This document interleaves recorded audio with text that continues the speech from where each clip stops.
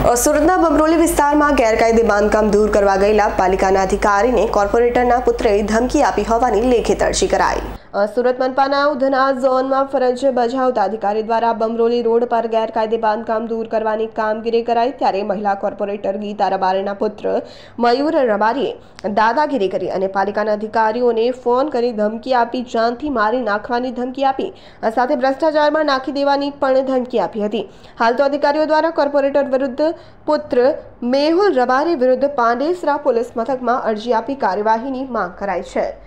સુરત મનપાના ઉધના ઝોનમાં ફરજ બજાવતા અધિકારી દ્વારા બમરોલી રોડ પર ગેરકાયદે બાંધકામ દૂર કરવાની કામગીરી કરાઈ ત્યારે મહિલા કોર્પોરેટર ગીતા રબારીના પુત્ર મયુર રબારીએ દાદાગીરી કરી અને પાલિકાના અધિકારીઓને ફોન કરી ધમકી આપી, જાનથી મારી નાખવાની ધમકી આપી સાથે ભ્રષ્ટાચારમાં નાખી દેવાની પણ ધમકી આપી હતી. હાલ તો અધિકારીઓ દ્વારા કોર્પોરેટર વિરુદ્ધ પુત્ર મેહુલ રબારી વિરુદ્ધ પાંડેસરા પોલીસ મથકમાં અરજી આપી કાર્યવાહીની માંગ કરાઈ છે.